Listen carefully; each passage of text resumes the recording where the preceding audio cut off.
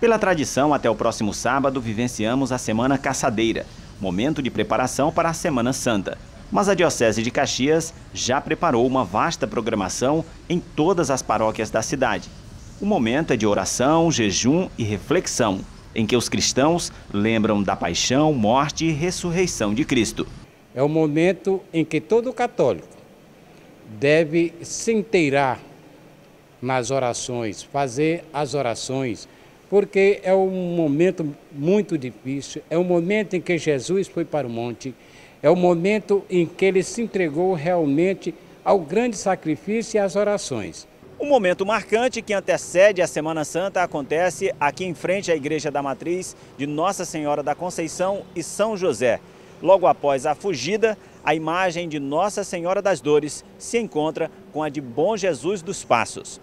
A procissão do encontro acontece na sexta-feira, dia 12, a partir das 17 horas. A Semana Santa tem início no Domingo de Ramos, que relembra a entrada triunfal de Jesus em Jerusalém, e termina com a ressurreição de Cristo, que ocorreu no domingo de Páscoa.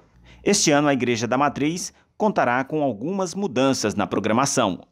Então, tudo começa, podemos dizer, já agora na quinta-feira, né, com a, a, fuga de Nossa Senhora das Dores, nós acolhemos aqui normalmente às nove da noite, né, para que aconteça o encontro na sexta-feira, né.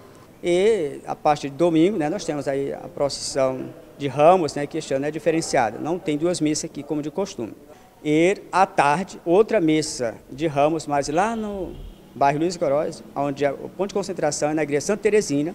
E aí, a partir de segunda-feira, né, tem toda a programação voltada para confissões, visita aos doentes, né, onde eu estarei fazendo isso. Né.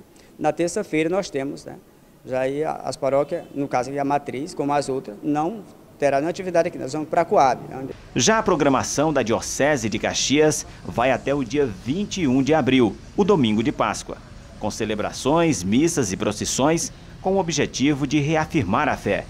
O bispo Dom Sebastião Lima Duarte lembra algumas celebrações comuns que vão marcar este período. Na, na segunda-feira santa, todas as paróquias à noite devem estar fazendo a celebração penitencial. Na terça-feira santa, nós iremos, as paróquias da cidade estão convidadas aí para Nossa Senhora das Graças.